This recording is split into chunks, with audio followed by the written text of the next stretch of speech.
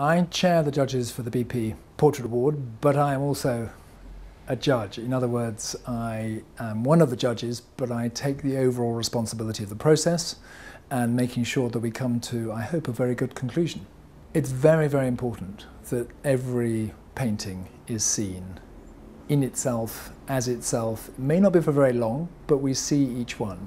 In the first stage, we look at everything, and the judges are simply retaining what will can only be a small number.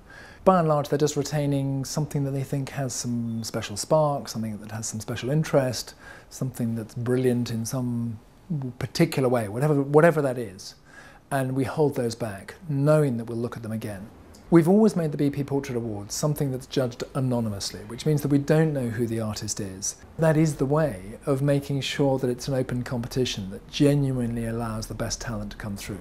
We simply take it to be the quality of the painting as we judge it. We do ask for the title. We may ask, therefore, for the medium if there's something between you know, acrylic or oil we want to be clear about.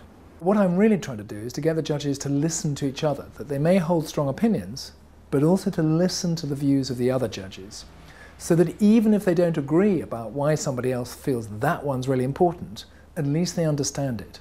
And that means we can come to a view about which are the best ones for the exhibition and which are the best ones for the prizes, even though that view may not match precisely with the individual view of any one of the individual judges.